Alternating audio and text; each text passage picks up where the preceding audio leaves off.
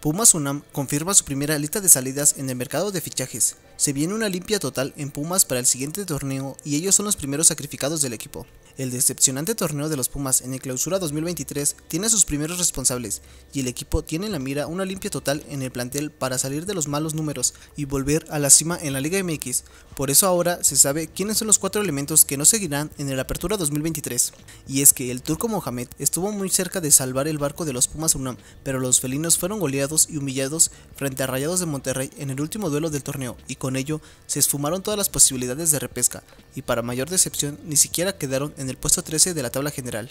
Con ello, la reportera Adriana Maldonado de ESPN informó que Adriana Aldrete, Jesús Molina, Igor Meritau y Diogo de Oliveira son los primeros elementos que Pumas ha dispuesto para abandonar al club para el siguiente torneo, con lo que iniciarán una profunda limpia en la plantilla para mejorar en el Apertura 2023. Además, con estas salidas, la directiva también podría facilitar el armado de los Pumas con elementos que prefiera el turco Mohamed, pues vaya que demostró todas las herramientas para llevar lejos a los felinos, luego de que tenía dos victorias y un empate en sus primeros tres duelos, y se quedó muy cerca del milagro.